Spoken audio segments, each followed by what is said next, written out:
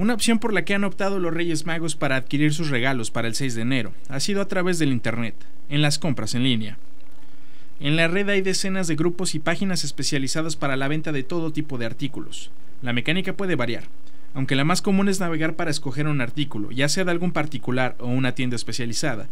Hacer la compra, una transacción monetaria en línea, ya sea a través de tarjetas de crédito o débito, o un depósito en efectivo a una cuenta bancaria, para finalmente esperar la entrega que se hace por medio de paquetería. Aunque parece ser una buena opción, todavía hay personas que no la utilizan y prefieren las compras tradicionales. No, yo creo que no. Bueno, nunca lo he hecho, realmente yo no soy muy dada a lo que viene. Sí, sí, sí, ¿Por qué no comprarías? Mm, no, no, no confío, así como que no, la verdad, no, no, no confío. No. ¿Por qué no?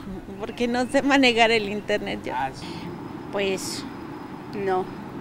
¿No? ¿Por qué no? Una porque no sé manejar el internet y otra porque no me gusta deber dinero.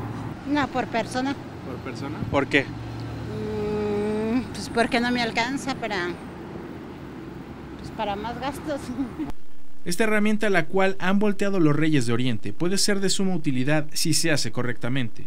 Planifique sus compras con anticipación. Busque varias ofertas del mismo producto. Lea las políticas de privacidad y seguridad del sitio. Revise las características del producto. Proporcione solo información estrictamente necesaria. Elija el medio de pago que más le convenga y considere los costos de envío. Juan Carlos Rabling, Noticieros, Televisa.